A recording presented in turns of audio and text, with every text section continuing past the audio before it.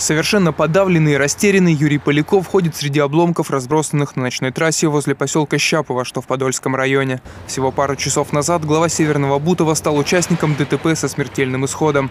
На перекрестке джип чиновников столкнулся с гоночным байком 31-летнего Сергея Федиского. Посмотрел, что машина далеко, здесь нерегулируемый перекресток.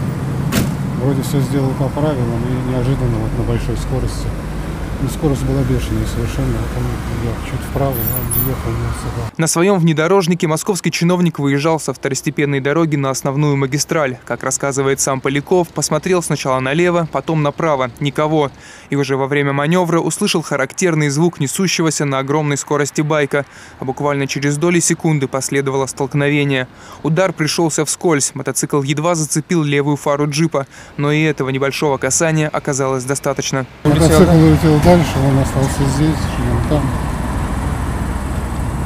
Просто горе. Сразу после столкновения Поляков попытался оказать первую помощь мотоциклисту, но было уже поздно. Байкер погиб практически мгновенно. Сам чиновник в аварии не пострадал. Сработала система подушек безопасности внедорожника. Вот только от психологической травмы не могут защитить даже самые современные технологии. Поляков, хотя и не считает себя виноватым в трагическом столкновении с точки зрения закона, чисто по-человечески чувствует свою вину в смерти молодого парня. Роберт Францев, Артем Никитин, Life News.